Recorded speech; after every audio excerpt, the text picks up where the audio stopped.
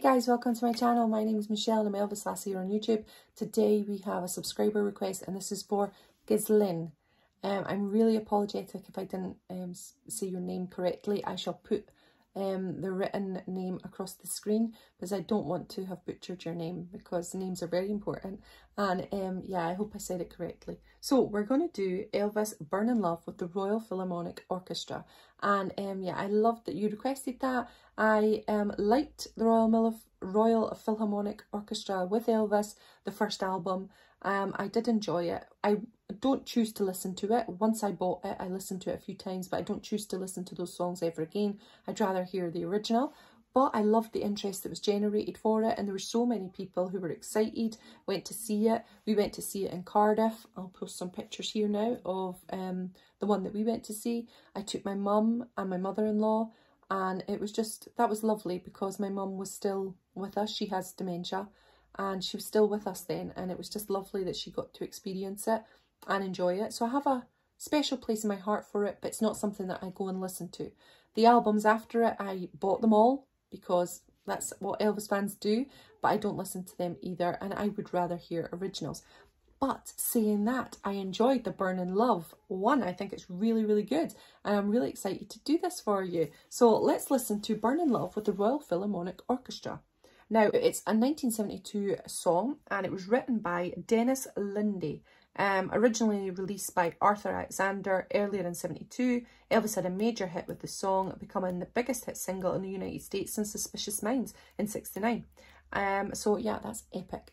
Let's go and listen to this version, but remember this is the one with the Royal Philharmonic Orchestra, and I will do the original for sure. I got your melancholy baby.